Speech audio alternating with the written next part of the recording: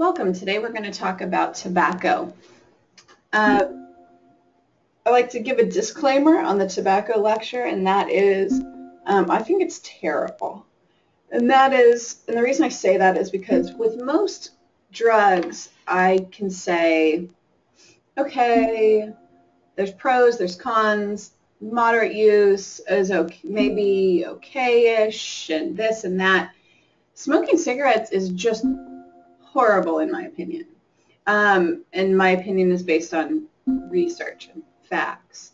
So I do like to give that disclaimer. If you are someone who smokes cigarettes, I apologize if I am rude. Hmm. But hopefully we're just going to learn some facts today. So that shouldn't be a problem. Let's let's get going here. All right, so tobacco. It is a legal product. It is used by a lot of people, adults primarily, okay? It is also a substance that is responsible for more adverse health consequences and death than any other drug. And as a matter of fact, if you combine all the drugs, all the other drugs, and combine how many people they have killed within a year, all together, smoking cigarettes, tobacco use, kills more people each year than all the other drugs combined.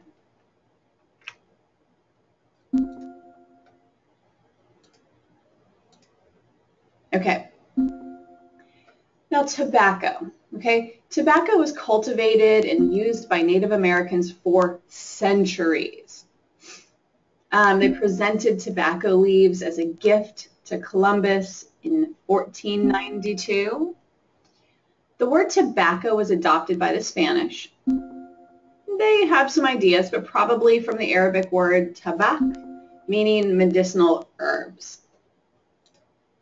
Now, early medical uses, okay? In the 1500s, there was recognition of me medical potential.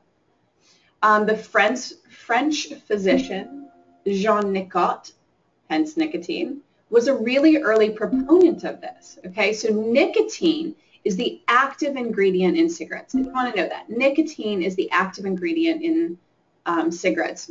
Some people don't know that. Um, the Nicotiana is the plant genus that was named after this French physician. Okay. Now, in the 16th and 17th centuries, tobacco was really viewed as having these positive medical uses uh, but they did start to notice that it was having a negative reproductive effect. So even in the 16th and 17th centuries, people started noticing some negative physical consequences. Now in the 1890s, um, nicotine dropped from the U.S. pharmacopoeia, and that means that it was no longer considered a medical use product. Okay, now, when we talk about tobacco, there are really two major species that are grown today. Okay, there are a lot of species, but these are our two main ones. We have our Nicotiana tabacum. This is our large leaf species. It's indigenous only to South America. However, it's cultivated widely. And then we have our Nic Nicotiana rustica. These are more of our small leaf species. It's from the West Indies and eastern North America. Okay. Um, let's see. So there's a lot of different types of tobacco products. Again, I'll be clear that all of these are harmful in different kinds of ways. Snuff. Hmm. 18th century, snuff, snuff use became really as widespread as smoking decreased. Um, I say as widespread. I mean, so actually snuff became more popular as smoking became less popular. However, in the US, it was perceived as a British product. So some drug use changed during the American Revolution, and that was that some things became popular in Britain, you know, within the British groups. And then if it was popular in England, then it became less popular in America. If it was popular in America, it became more popular in England. So we have this with snuff, and we'll also see this when we talk about caffeine and tea versus coffee. Okay, so as the American Revolution happened, snuff really became much less popular here in the U.S. Chewing tobacco. The 19th century, most tobacco used in the U.S. was actually chewing tobacco. Um, and smoking didn't surpass the chewing tobacco use until the 1920s. Okay, um, if you're not familiar with chewing tobacco, it tends to be something that people will put um, in their mouths uh, between their lip and their teeth, say it that way, um, and they kind of hang on it and they spit. So you have to be spitting continuously, which is not the most attractive thing that people can do. But remember, people are addicted to these things. You also have these dangers, of course, of where you're holding that chewing tobacco, having cancers there. Um, you want to look up pictures of things to motivate you to stop, look up pictures of people that have had mouth cancers due to chewing tobacco. It can be pretty graphic. Okay, cigars. So cigars are actually a combination of chewing tobacco and smoking tobacco. You're not supposed to inhale cigar smoke. Um, it will make you sick. Kids often don't know this. Kids shouldn't be smoking cigars anyway, but sometimes that's how they learn. Um, it, cigars really peaked in popularity, popularity in the 1920s. Um, cigars are one of those connoisseur type of products where they have lots of different styles and flavors and from here or from there. And they can be really expensive. Now, cigarettes. Native Americans actually used to use these thin reeds, and then they'd feed, fill those thin reeds with tobacco and smoke that. However, you know, mass production here in the U.S., in the 19th century, factories started to appear. So before that, you know, people rolled their own cigarettes and then factories appeared and you had this mass production of cigarettes. And then the cost goes down, of course. so the habit, habit spread widely with the advent of inexpensive machine-produced cigarettes. And smoking cigarettes is the most popular form of tobacco use currently. Now, we have our little product milestones here. In 1913, the Camels had low-priced domestic tobacco. In 1939, Pall Mall came out with their king-size cigarettes. And in 1954, Winston came out with filter cigarettes. Okay, the filter is somewhat helpful. Okay, most cigarettes now are filter cigarettes. Um, it's still very dangerous. Okay. So tobacco started to have some problems throughout time. Of course, it's still a very widespread epidemic, if you will. 1604, King James of England published an anti-tobacco pamphlet. 1604, harmful to the brain, dangerous to the lungs. Like they knew that then. Hmm. However, let's be clear, England also supported the American tobacco trade because there is so much money in this. 1908, New York made it illegal for a woman to use tobacco in public. And the idea was this was a way to protect women from themselves. I, of course, don't care for laws that affect women differently than men. However, they actually made a law at the time that would have saved so many women. Okay, the 1930s and 40s. Reports linking smoking and cancer. In the 1930s and 40s, there were reports linking to smoking and cancer. And the reason that I say these dates over and over again is not because I need you to memorize them, but to point out, this was a long time ago. In 1952, Reader's Digest had an article out that was Cancer by the carton. Oh my gosh, 1952. Tobacco companies' response said, uh, we don't know what they're talking about. The formation of the Council for Tobacco Research came about. Uh, let's be real clear, not independent. This is not a, you know, research group that is unbiased. Um, they really just tried to undermine the health risk claims. Mass marketing of filter cigarettes and cigarettes with lower tar and nicotine mm-hmm. content came out. So the idea was this is a safer alternative. What they actually find is that when people smoke lower tar, lower nicotine content cigarettes, they actually just end up smoking more. Some mm-hmm. people don't, and that's good, but not great. And often people just start to inhale deeper and smoke more.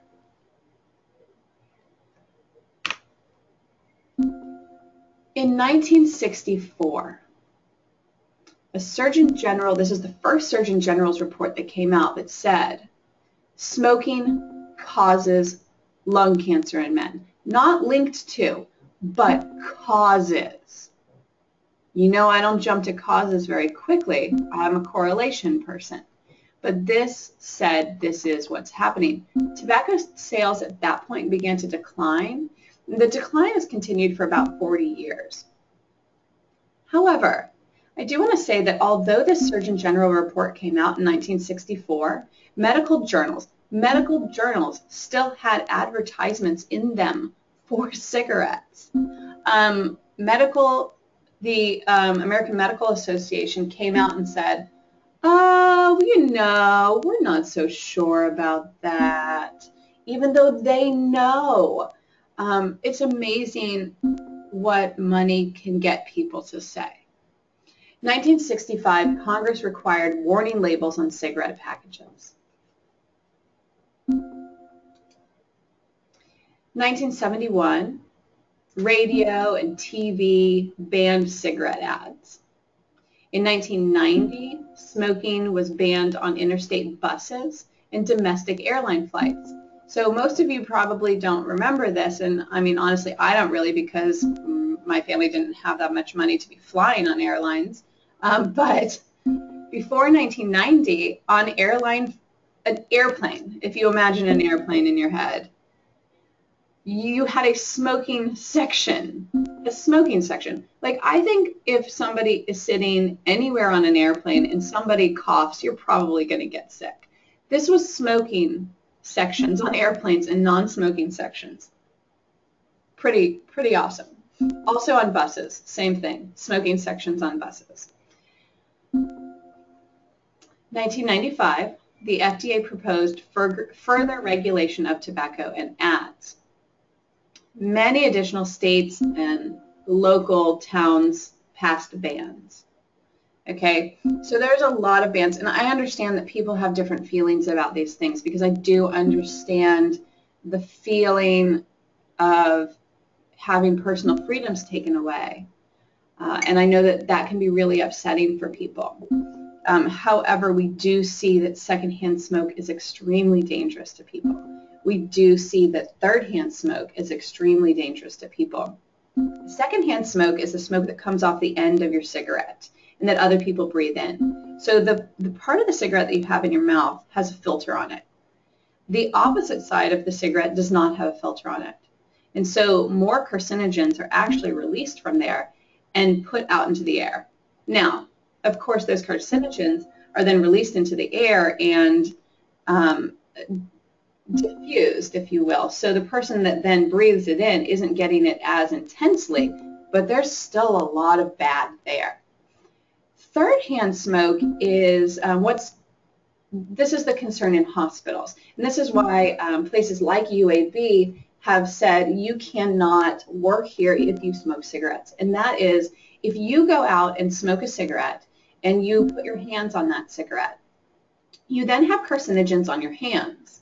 You then come in and maybe change the sheets or hold a baby or help people who are very sick. And the carcinogens from your hands, from your clothing, then gets on their things and actually gets to them. And they actually see that people who are cared for by smokers have poorer health outcomes than people who are cared for by non-smokers, which again shows us that those carcinogens are passed on from one person to the next.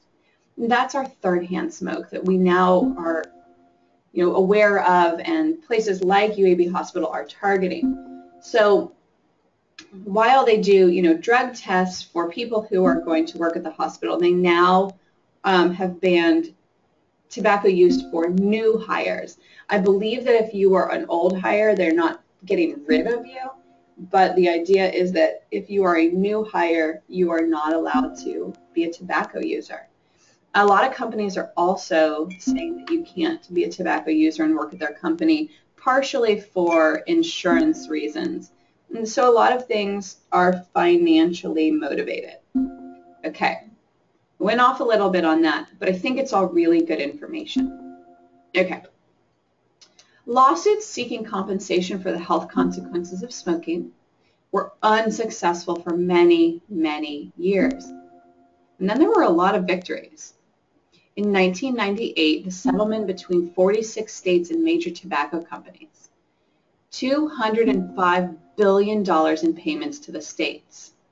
They were given advertising regulations and enforcement of laws prohibiting sales to minors. There are a lot of advertisements that clearly target minors because once you get somebody hooked, they are often a tobacco user for life. And also a problem with tobacco sales is that you're killing the people that you want to sell to. So as your um, as your clients, as your customers die off because of your product, you need to keep having new, new, new people that are going to be lifetime customers. Okay. Um, going back to the 205 billion, this is always so interesting to me because the tobacco companies are still doing really well financially. So that means they were able to give out payments of $205 billion. And I know it doesn't happen all at once, but $205 billion and they're still doing fine. Amazing. That's how much money is involved in these companies. Possible reasons for legal victories, just the changing legal climate, um, revelation of tobacco companies' actions in hiding information on adverse effects of smoking. So people knew that there were adverse effects, and the argument was always, well, you know, we've told you the truth, it's your decision, you know, that kind of thing. And people want to make their own decisions. But when people found out that these guys were hiding information and actually stating that they just think everybody is stupid and isn't going to figure it out, that made people mad, mad, mad, mad. And then some things changed there. So interestingly, um, my husband works in the Department of Public Health and he does research on ways to get people to quit smoking. It's called smoking cessation. And he's been doing this for a long time. Um, the majority of his grant funding comes from smoking cessation grants. What's interesting is that his father, um, who's no longer alive, but his father in his um, prime time as a lawyer actually represented tobacco companies. Um, so this is what I find interesting, right? His, his father made his money representing tobacco companies, and my husband's job is to get people to quit smoking. Okay. Um, so looking for safer cigarettes, lower levels of nicotine. This is what I said, is that people tend to just adjust their smoking behavior to obtain a consistent amount of nicotine. They take more puffs, they inhale more deeply. Lower levels of tar. Tar is that nasty, sticky brown material that you've seen on a filter. You're putting that in your body. Um, based on changes in smoking behavior, there may be no advantage to switching to a low tar, low nicotine cigarette. So what the heck does safer mean? Going back to tar, Um, if you've ever been in someone's home who smokes in their house, you may see black, brown stains on the walls. That's tar. Um, that's going into people's lungs.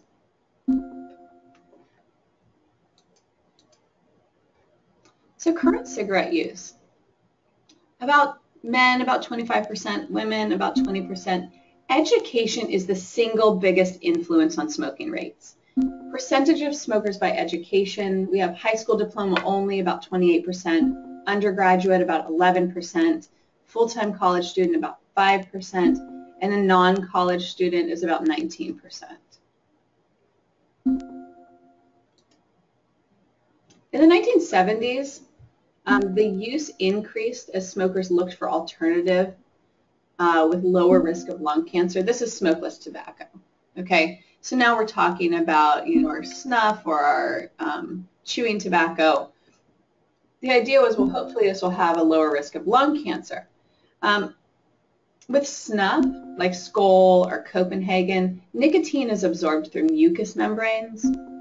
The advantages over cigarettes, it's unlikely to cause lung cancer, it's less expensive, more socially acceptable in some circumstances.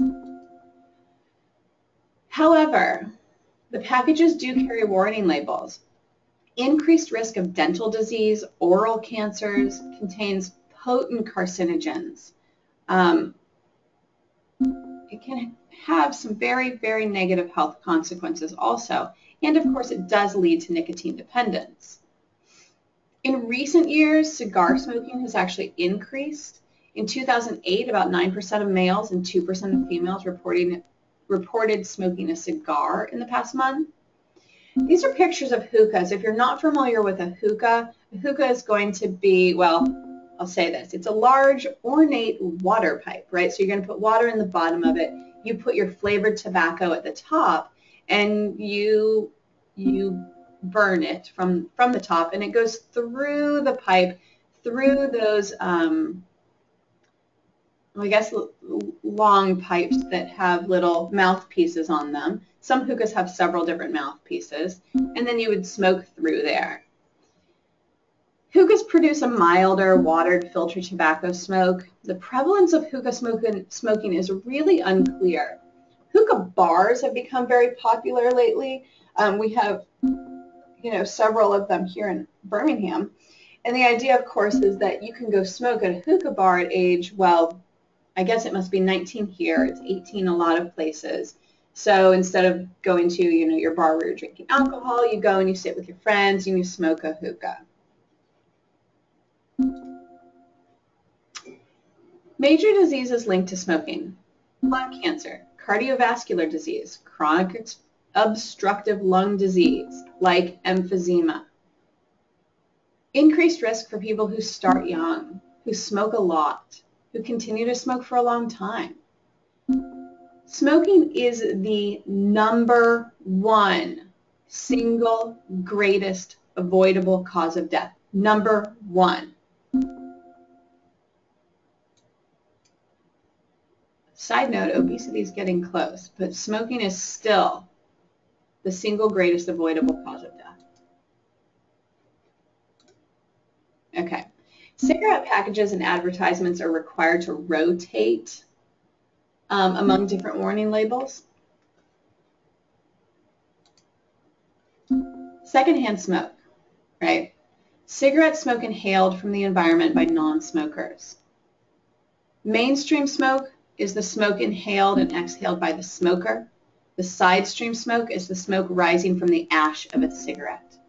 More carcinogens are in that smoke, but the smoke is more diluted, and that's what I said already. Um, health effects are difficult to fully determine, but do include lung cancer, cardiovascular disease. We see these things much higher in, um, well, adults that grew up in homes where their parents smoked. 1933, the Environmental Protection Agency classified secondhand smoke as a known human carcinogen. Many recent laws and regulations have been passed to protect non-smokers. Five million deaths worldwide each year. Five million. Estimates are you know, as high as 8 million by 2030 if we don't do something about this. The demand for American cigarettes in Asia has actually increased markedly. So worldwide, this is still a huge problem. And in third world countries, cigarettes are being marketed more and more. Smoking in pregnancy. You should not be smoking when you're pregnant, FYI. Um, increased risk of miscarriage, increased risk of low birth weight, increased risk of sudden infant death syndrome. Sudden infant death, death syndrome, SIDS, there's so much information out there now to try to prevent these kinds of things. You know, don't put your baby on its tummy to sleep. Don't put blankets in there. Don't put a bumper. Don't put a, I mean, like, you know, and everybody has different opinions and thoughts about these things. But when you look at the research, homes where someone smokes in the home have significantly, I mean significantly higher rates of SIDS than homes where people do not smoke in the house. When you take out smoking, the rate of SIDS is very minimal. Several studies indicate the effects of, physiological and cognitive development. So this is longer term with children whose parents, mothers, not parents, mothers smoked or birth mother smoked during pregnancy, you see neurological problems, problems with reading and math skills, hyperactivity.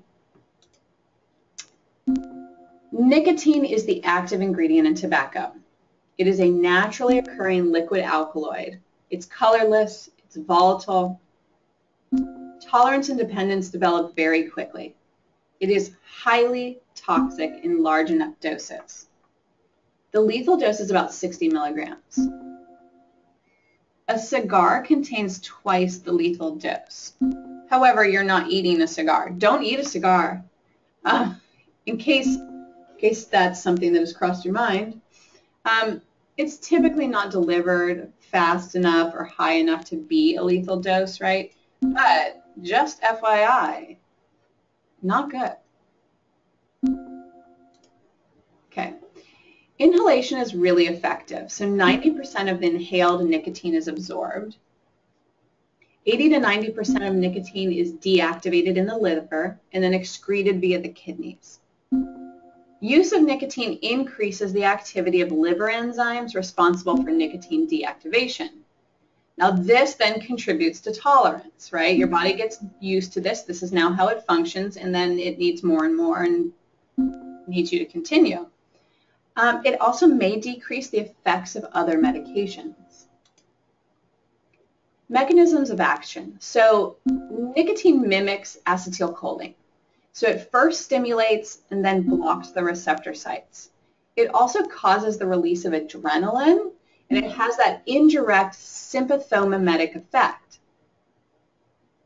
So it has that sort of sympathetic nervous system arousal. However, interestingly, it also makes people feel calm and collected. And this is actually why we call this biphasic. Um, I don't want that. Hold on.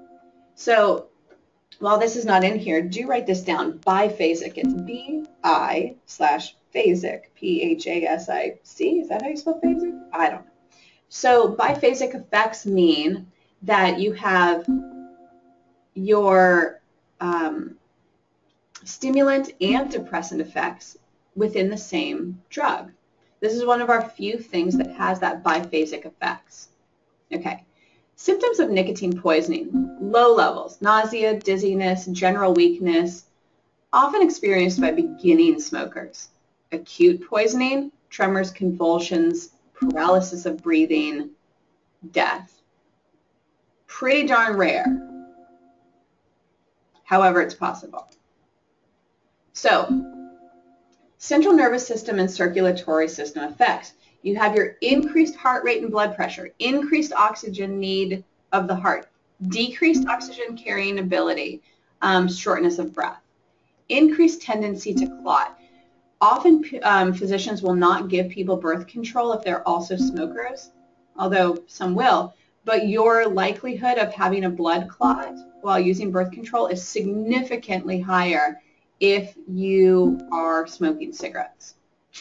Okay, um, which doesn't mean stop, you know, if it, it, it means stop smoking.